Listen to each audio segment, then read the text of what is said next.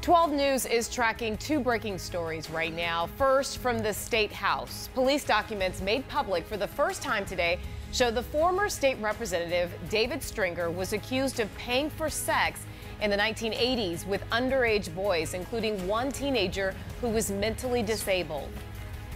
And the new documents uncovered during the House Ethics Committee investigation of Stringer, they reveal Stringer, who was about 35 years old at the time, cruise parks apparently looking for young boys. And this isn't the first time that Stringer has come under fire. Last summer, he was criticized for racist comments that he had made about Latinos and African Americans. Earlier this week, he resigned. Team 12's Bram Resnick is digging through the facts in this case right now.